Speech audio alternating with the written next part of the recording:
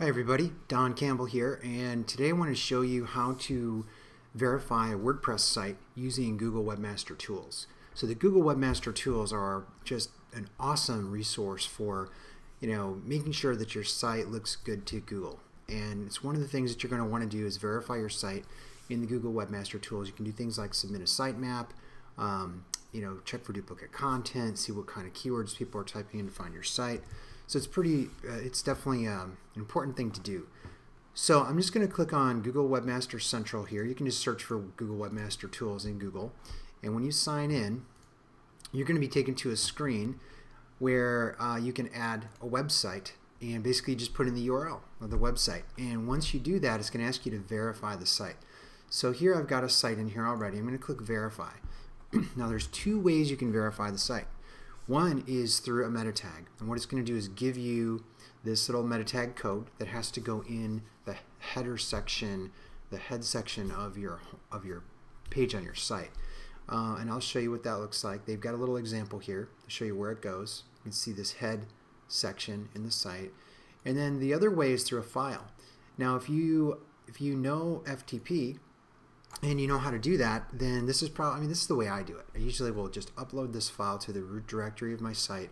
Then I'll go back to Webmaster Central and verify it and everything's good.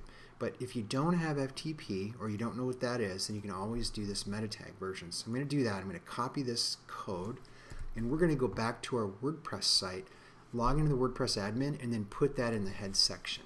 Okay, so here I am at the dashboard in WordPress. I'm going to go to the appearance section over on the left. And from here, depending on the theme you have selected, here I've got the, the Expand2Web Small Biz theme.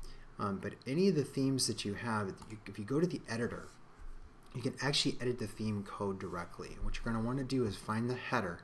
Now all themes are going to have this header, um, you know, no matter what WordPress theme you're using, and you have this header section.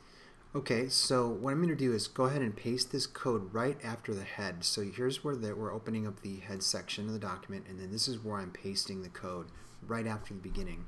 Then I'm going to say update file, and then when I go back to Google Webmaster Central uh, and I click verify, then it's going to go out there and find and verify the site. And here it is. So now it's telling me all these, this information about where links are coming into my site, what keywords people are using to find it, if there's any crawl errors. So um, I'll give another video on a tour of Webmaster Tools, but you'll find this is just a super powerful tool to use to diagnose your site and make sure that it's uh, you know looking great to Google.